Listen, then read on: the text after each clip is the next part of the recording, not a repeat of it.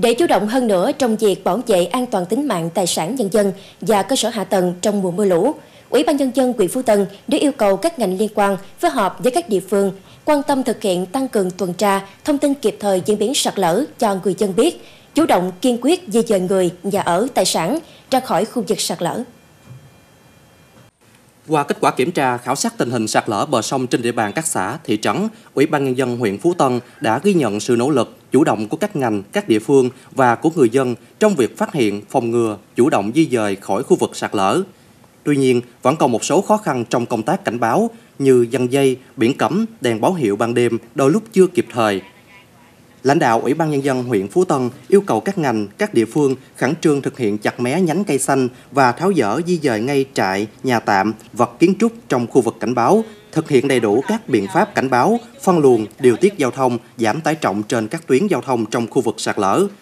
Bên cạnh đó, đối với hộ dân di dời khỏi khu vực sạt lở, các địa phương phối hợp với ngành liên quan hoàn thiện hồ sơ liên quan đến chính sách hỗ trợ hộ dân bị thiệt hại do thiên tai theo Nghị định số 20 của Chính phủ, quy định chính sách trợ giúp xã hội đối với đối tượng bảo trợ xã hội.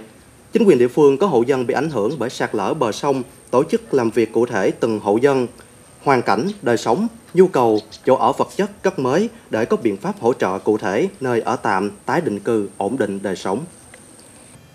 Sau thời gian tuyên truyền vận động, ngày 26 tháng 10, Ủy ban nhân dân phường Mỹ Long phối hợp đội cảnh sát giao thông trật tự công an thành phố Long Xuyên, đội thanh tra giao thông số 1, đội trật tự đô thị, phòng quản lý đô thị thành phố tổ chức ra quân lập lại trật tự đô thị, trật tự công cộng, phòng cháy chữa cháy trên tuyến đường Nguyễn Văn Sơn.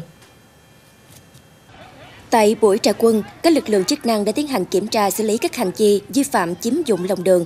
hè phố để kinh doanh trưng bày hàng hóa, đậu đổ xe, xây dựng hàng rào, bục bệ, liều trại, đặt biển quảng cáo và các hành vi vi phạm khác theo quy định.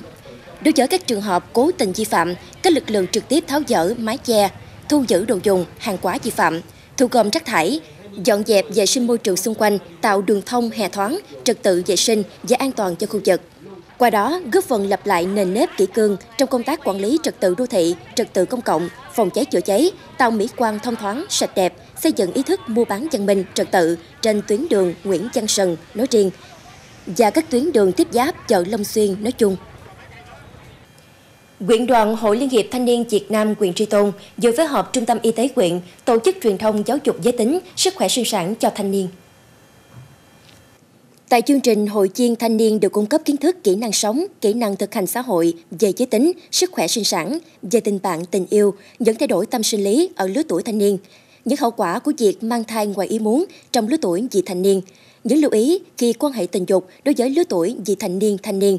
các biện pháp tránh thai hiện đại, một số bệnh lý liên quan đến sức khỏe sinh sản, đồng thời bồi dưỡng thái độ đúng đắn, rèn luyện các kỹ năng sống tích cực, biết cách phòng tránh được những hậu quả đáng tiếc có thể xảy ra. Đây là hoạt động thiết thực nhằm nâng cao kiến thức và kỹ năng thực hành xã hội cho chị thành niên, thanh niên, góp phần nâng cao chất lượng dân số, sức khỏe về thể chất, trí tuệ, tinh thần và giảm thiểu tình trạng não phá thai ở độ tuổi vị thành niên.